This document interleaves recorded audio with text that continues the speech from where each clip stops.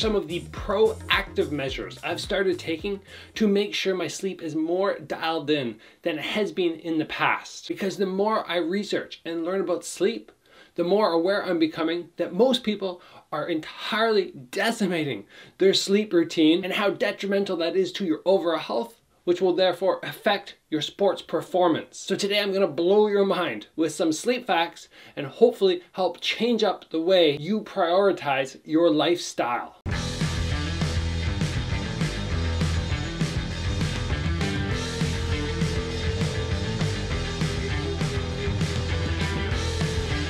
So I've spent the last couple months really researching sleep, making sure that when I get back to competition with Karate Combat, I'm to have everything as dialed in as possible because I was not always doing that with my previous fights. Especially when I look back on my weekends, like five or 10 years ago, where I was staying up to two, three in the morning and then getting less sleep, far less sleep than I should have had for my Saturday morning training session. It's just not good. So I want to throw some facts, some information at you guys today which I think will just kind of make your mind go kaboom and it will actually motivate you to start making changes when you understand facts, you understand numbers. I'm all about the truth. Show me science, show me numbers, and when I see that, then I actually get around to making changes. Now, a lot of the information that I'm going to share with you guys today is from a sleep expert named Matthew Walker. I'm finding him super fascinating to listen to, and just the fact that he shares so much information in such a profound way is just fantastic to keep watching and watching.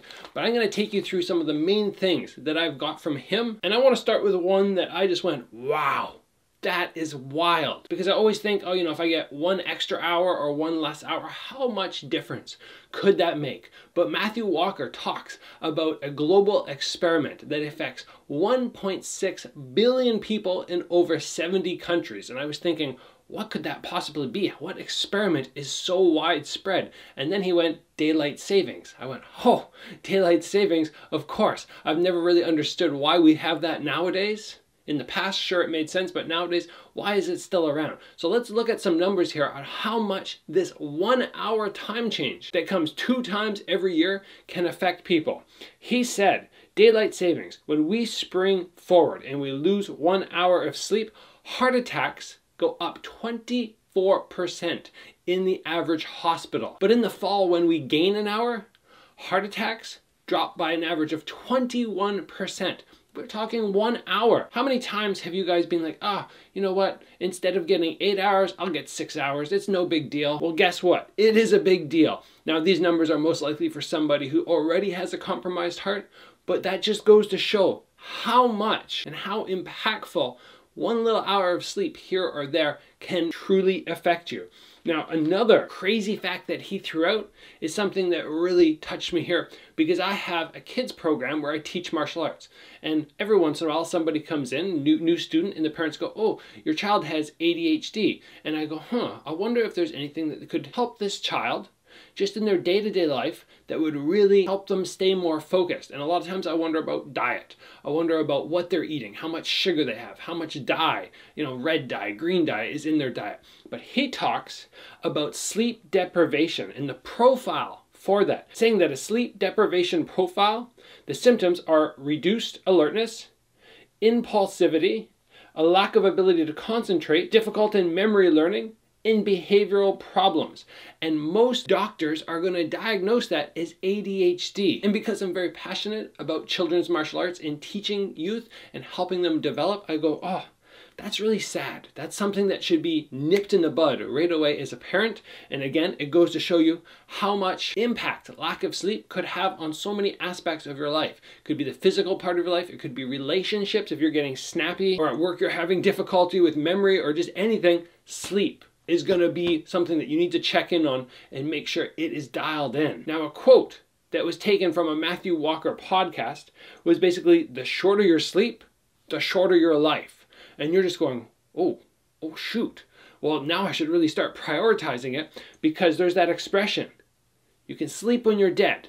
And he said that is a wildly inappropriate thing for people to think and say because, yes, actually, lack of sleep can cause you to pass away earlier. It can reduce the longevity of this life you have on earth. So you need to make sure that you are prioritizing for myself, not only looking at it from an athletic point of view, but also going, I've always said when I'm done this career, I want to have a life. I want to make sure my body's not banged up and I'm hurting everywhere and I'm, you know, I'm still athletic and I'm still able to do what I want. Well, at the same token, I don't want to push so hard and sacrifice sleep and then find out it cuts five or 10 years off my life. That would be terrible. So sleep, good sleep, is going to equal longevity or it's going to help you live longer. Very important thing to know. Now, the final fact that I want to throw at you guys here about sleep, which you probably didn't know, I didn't, is you cannot bank sleep.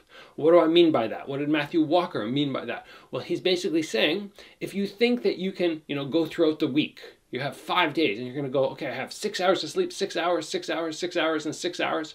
But then on the weekend, I'm going to have big 12 hour sleeps and I'm going to balance the field out and it's going to help me catch up. Or, for example, you know, tomorrow night, I'm going to have a terrible sleep. I have to work really hard. So tonight, I'm going to get a really solid extra sleep. He said, no, it doesn't work like that. To a certain extent, it helps, but overall, no, it's not something that you can get away with and it will still be detrimental to your health, sports performance, all of that.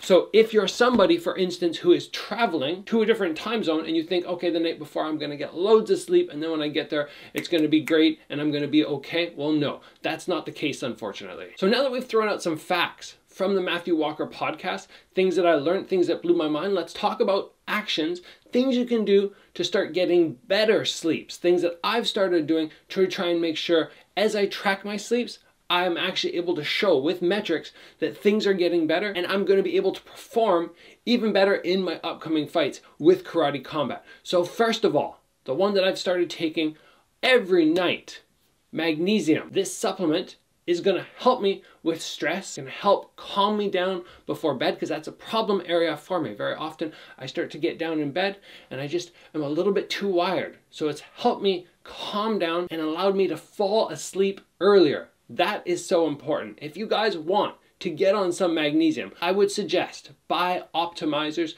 magnesium. It's the one I've been using. I have a link down below. You can go to magnesiumbreakthrough.com forward slash Gabriel and use the promo code Gabriel10 to get yourself 10% off. I really suggest you guys try this out. Get yourself a bottle or two or three and try it out and see if you notice a difference because it's worked for me and that is something wild to be able to tell somebody that yes, this supplement is working for me because in the past I've tried many supplements and I didn't notice a difference. So this is the first proactive step that I've started taking, which has really begun to make a difference for me. The next sleep tip, which I've started implementing, is utilizing enough darkness before bed to make sure that I start sort of crashing a little bit because very often in the past I would leave all the lights on. I would have everything bright. I like bright. It's happy. I just find it vibrant in the room. But I keep the lights on, I keep the lights on, I keep the lights on, then I flip them off and I go to bed. So what I've started doing is either turning off more lights around the house or using the dimmer just dimming down the lights a little bit, a little bit more, and just every 20, 30 minutes prior to bed, just dropping and dropping. And then I start to get just that little bit of doziness. And what you're trying to do is recreate the darkness, the natural change of day outside, where we go from sunny to that dark sky. And it's something because of the way we live now. When you think about the term midnight, what does that mean? Well, middle of the night. But 12 o'clock, the middle of the night, for most of us is when we go to bed. There's many people who go to bed at midnight. And it's not the middle of the night anymore, it's the beginning of the night for us. So what we need to recognize is the natural darkness is the time when we should probably be winding down and heading off to bed. And when the sun comes up is when we should be waking. But because we're not doing that and because we've created an artificial environment around us, it is beneficial to start dimming the lights and just start getting your body ready for sleep, even if it's in a false way, not really recognizing what the actual environment outside is doing. Next up, and I talked about this the other day, this is something Matthew Walker said, but it was how full or how hungry should you be before you go to bed? And I said, do not go to bed hungry. That's what that was my advice. Make sure you eat before bed. Matthew Walker says, don't go to bed too hungry, but don't go to bed too full. Either one is going to hurt your sleep. So you guys need to find for yourself what your nice balance is. And for me, it's basically, okay, I'm going to bed in half an hour. I almost need to have a full meal right before I go to bed. Otherwise, I'm going to wake up super hungry at three or four in the morning. But you guys have to play around with that. And I don't love the advice that I've heard many people say, which is, you know, don't have any food four to six hours before you go to bed, that for me would just keep me up all night because I would be starving. The next tip for a good sleep is a diet that is high in sugar is going to equal a bad sleep. You don't want to be having loads and loads of sugar. First of all, that's not good for you in so many other ways. It is going to affect your sleep. So if you have been having trouble getting your head on the pillow and crashing, you need to look and go, okay, how much sugar am I having throughout my day? Can I decrease that? And another tip because we are so often on our iPads, our TVs, we're in front of screens, is we need to reduce our screen time or at least recognize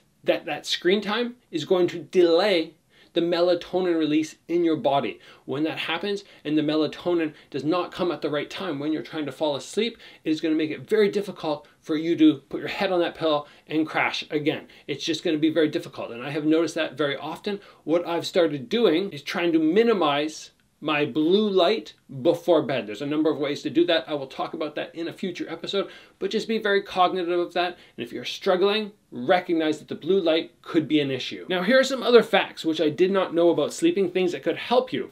First of all, sleeping temperature 63 to 66. That's cold but you want to go to bed with socks and he said ideally gloves on. I had never heard of that before. You want your extremities, your fingers, your toes to be nice and warm, but you want to have a slightly cooler body. That was just a little tip that he gave out. You also want your sleep times, you're going to bed and you're waking up to be regular. Having, you know, I'll go to bed at 9 one night and then 12 the next night, but then, you know, I wake up at 6 and the next day I wake up at 9, especially with weekend schedules. That is not good. You want to dial in your weekends and your weekdays and have them very similar so that everything is quite regular. That'll help you sleep better. Now, in one of the podcasts with Matthew Walker, somebody asked him if you could give us a number, how many of our North American society are sleep deprived?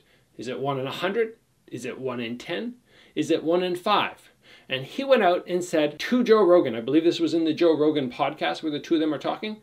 He said, No, no, we have the numbers on this, and they're not up for debate. One in every two adults are sleep deprived. One in every two? Really? That's wild. I hope I'm not one of those guys because I take extra caution, especially now, to make sure that I'm getting those sleep hours I need to make sure I can perform every day and to make sure I'm healing. And that is why I love that magnesium supplement I've talked about because I have prioritized sleeping for so long to help my body heal. But when you go to bed and you're not able to fall asleep right away, that's hurting you. I basically go Sleep is my recharge time. It's the time where my body heals. So if I'm rocking an injury, if I have a shoulder injury, a really bad one, and I get minimal sleep, I find, and I've actually tracked this and followed the data basically, I find that it takes a long time to heal. But when I get the proper sleep, it's almost like a movie where they put you in some sort of cryo chamber or something like that, and all of a sudden you're like, whoo, I'm feeling good. That healed fast. Well, it's the same thing that I've noticed with sleep. When I get so much sleep. Like if I have a bad, bad back injury, I'm not even kidding you. I'm going to bed for nine hours and then I'm taking sometimes like two hour naps during the day. And it's not that I need it, that I'm tired, but I go, I'm going to do the best healing when I'm getting that massive amount of sleep and being able to put my head to the pillow and fall asleep faster thanks to magnesium. That is going to give my body more time to recover, which is extra important now that I am an athlete who is 36 and now looking with karate combat at the next three years of my career. I have three more years minimum that I'm going to be competing, which is going to take me through 37, 38, 39, probably right around 40 when I'm planning on retiring. But the older you get, the more injuries are probably going to pile up and the longer it takes you to heal. So thank you Magnesium and BiOptimizers for making sure I'm getting that sleep which I 100% need. Now I have two more things I want to talk with you today about sleeping and this one is probably going to blow your mind because you might be somebody watching and going, yeah, yeah, yeah, Gabriel, this is all good, but I get only six hours of sleep and I function just fine. And Matthew Walker on the Joe Rogan podcast actually talks about this and he goes, after Joe Rogan asks him, how many people who say they can function on five or six hours of sleep can actually do it? Matthew Walker goes, well, we actually have the data on that. And then he says something funny like rounding up from the power of blah, blah, blah, blah, thinking it sounds very mathematical. We have an exact number of 0.000% of people can function on six hours of sleep as well as they would on a proper amount of sleep. So you might be somebody who's sleeping just not enough, but you think you're doing well, and maybe you are. Maybe life's going well. but you could be doing better. And that's the big difference. That's what we have to look at. And I've talked about it many times on the channel in terms of fight sports. We don't always need to try and be better than our opponent and make that the priority. We want to be better than ourselves. We want to be, I've said this so many times, the best version of ourselves. And if you are getting six hours of sleep, you are not the best version of yourself. You cannot possibly be. The science is there according to Matthew Walker. You will be the best version of yourself with that eight to nine hours of sleep. And if you're not somebody that can get that massive amount of sleep at night, try and get those naps in. That's something I do. I'm getting my full night of sleep plus the naps but Matthew Walker said, yes, the naps are not as ideal as having a full, proper night of sleep, but they're the next best thing. They are going to be very helpful. And the final thing, the final big tip that I want to give you, because this is something that I have struggled with in the past. As I said, I put my head on the pillow and I just don't fall asleep. Well, the suggestion that Matthew Walker gave was you need to associate bed with sleep. So if you put your head down on the pillow and it takes you more than 20 minutes to fall asleep, you need to get up. You need to go somewhere else in your house. You need to get yourself tired over there. So maybe you get up, you put a dim light on, you sit in a chair and you read. Obviously, you're not going to turn on your iPad or your, your TV because then we have that blue light, which you already talked about. So you're going to get your book and you're going to read, or you're going to do some deep breathing exercises or something. And you're going to wait until you start to feel tired, and then you're going to return to bed. And then you're going to hopefully fall asleep in under 20 minutes. And you're going to keep doing this until bed becomes the spot where you go only for sleep. not somewhere where you're going to go, okay, I'm going to lay in bed and watch a movie, or I'm going to associate bed with food. We don't want those associations. We want it to be the spot where you go and right away you see the bed at nighttime and you go, okay, I'm going to go to bed and I'm going to fall asleep now, as opposed to, oh, it's time to eat, it's time to watch a movie. He said, bad idea. So I'm going to actively work on that because I do this very often, especially in the past, before I've tried to change these habits. I get in bed, I put a show on, I think, okay, the show will help me fall asleep, but in reality, or the facts are saying that no, it's not helping me fall asleep. I would be better watching something downstairs or reading something downstairs, even better, and then coming to bed and going to sleep. That is a tip which I have started implementing, which I think you guys should as well. And overall, those are the main facts that I have collected about sleep as I've started my studies, as I've started trying to really dial in this aspect of being a better athlete and just a more fit human who's going to live longer, according to Matthew Walker. Good sleep equals a longer life. That's what we want. I don't want to be somebody who cuts my life short because I didn't take the time to research something so important as sleep. So guys, once again, if you want to get on this pattern of better sleeps, try to implement what I told you tonight. Try and do some cold therapy prior to bed. You want to lower your body temperature. That's something that I've heard is going to be fairly helpful. Not pleasant, but fairly helpful. And of course, like I've already said, magnesiumbreakthrough.com forward slash Gabriel. Gabriel 10 is the discount code. That will get you some savings when you head over to Bioptimizers and pick up those magnesium supplements. Other than that, guys, thank you for joining me today. I hope you liked this episode. If you did, please give it a like. If you haven't already, join the channel and get subscribed. As always, guys, train hard. I will be back here very soon with more videos for you.